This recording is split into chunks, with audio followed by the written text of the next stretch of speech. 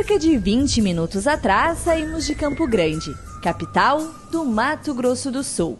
Temos pela frente mais 70 quilômetros de estrada de terra.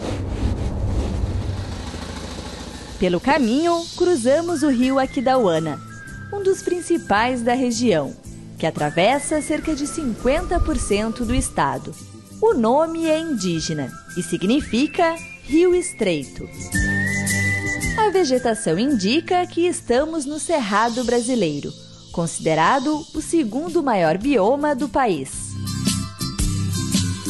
Uma parada para registrar a paisagem e seguimos nosso destino. finalmente chegamos na estância Relva.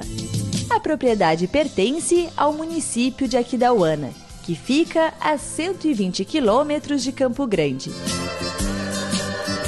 Podemos dizer que estamos em uma espécie de vale. Afinal, vemos morros por todos os lados. O trabalho aqui é focado na criação de gado Nelore PO, animais puros e registrados. Nós buscamos uma pecuária de rápido ganho de peso e de bom acabamento. A Estância Helva é uma das quatro propriedades da genética aditiva, que trabalha com 3 mil fêmeas no plantel. Aqui na fazenda temos quatro lugares como esse, conhecidos no Mato Grosso do Sul como mangueiros, um central e três estratégicos. Geraldo, qual é o principal objetivo desse sistema?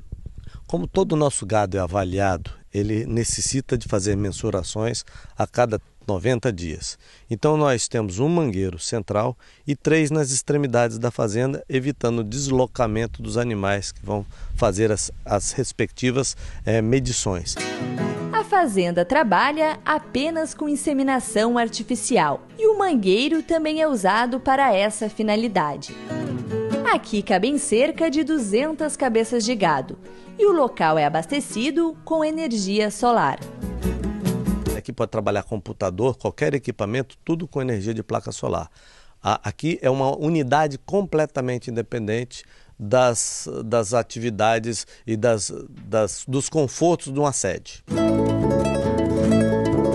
Rebanho da genética aditiva é o mais bem avaliado do Brasil no programa da ANCP, Associação Nacional de Criadores e Pesquisadores. A empresa realiza 11 leilões de bovinos por ano, entre eles o de repasse de touros, onde são vendidos 600 exemplares. No ano passado, a comercialização desse leilão ultrapassou 3 milhões de reais. E o projeto para esse ano é colocar em pista 800 touros.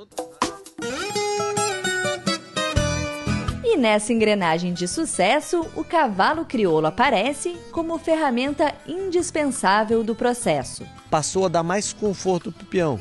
O peão passa a não voltar com dor nas costas, passa a ter satisfação. É mais ou menos como uma pessoa está num carro novo. Ele fica muito satisfeito de trabalhar em cima do cavalo crioulo. Há 30 anos chegaram nas fazendas os primeiros animais com sangue crioulo.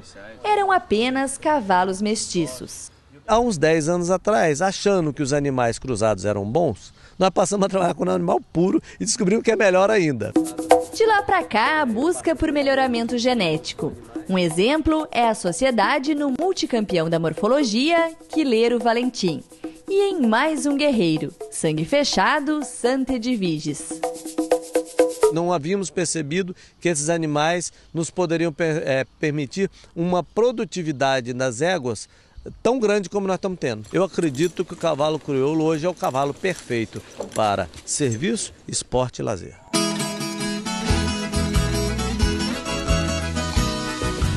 A primeira vez que eu vim mexer com eles, interagir com eles foi aqui na genética. A resistência deles é fora do comum. Bom de trabalho, bom, fácil de mexer com eles, não é aqueles cavalos que impõem muita regra para mexer com eles. Só basta ser ter um pouquinho de noção. Precisa ter uma conjunção de satisfação tanto do proprietário quanto do peão para atingir os principais objetivos da fazenda. Laura é capataz da estância e responsável pelo manejo com o gado Nelore. O cavalo criou completo serviço, né? Então você entra com docilidade, com a tranquilidade, vamos falar assim aqui, né? E o gado responde se você trabalhar nesse, nesse manejo nele. O capataz não abre mão de ter calma ao lidar com os animais.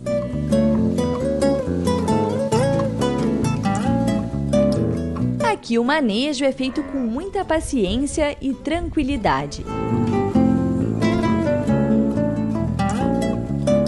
Lauro me convida a conhecer de perto os Nelores da Estância Relva e percebo que o sistema de trabalho traz mesmo um temperamento impressionante. E a mistura cavalo crioulo ligado Nelore funciona? Funciona muito bem, que você consegue concluir o seu trabalho, né? Aqui todos os peões montam em cavalo crioulo, vestidos com trajes típicos da região. Nas encilhas vemos algumas particularidades. A cabeçada é feita toda em corda, neste caso de seda, que são fibras naturais. Aqui tem o bacheiro, né? Ah, o, nós chamamos de cochunilho, né? Que tem um forro por cima. A badana, que, é, que cobre tudo. Nos loros encontramos muitas argolas, e inclusive o estrivo é conhecido por argolão. Curiosidades à parte, voltamos ao foco da nossa visita – acompanhar o trabalho do cavalo crioulo com o gado Nelore.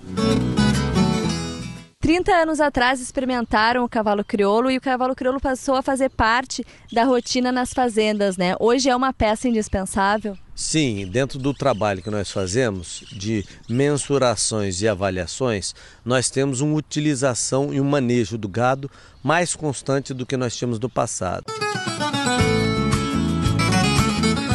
O cavalo crioulo completa o peão, né? A docilidade dele é demais da conta. Só ver ele.